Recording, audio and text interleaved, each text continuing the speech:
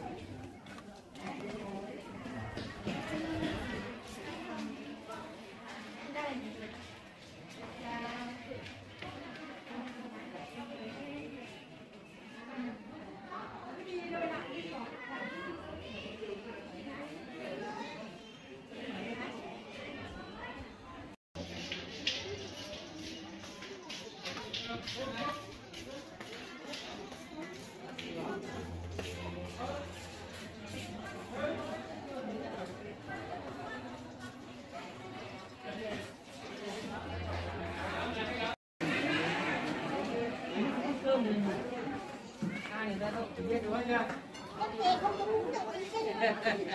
cái người ở đâu ở huyện thì là à, thế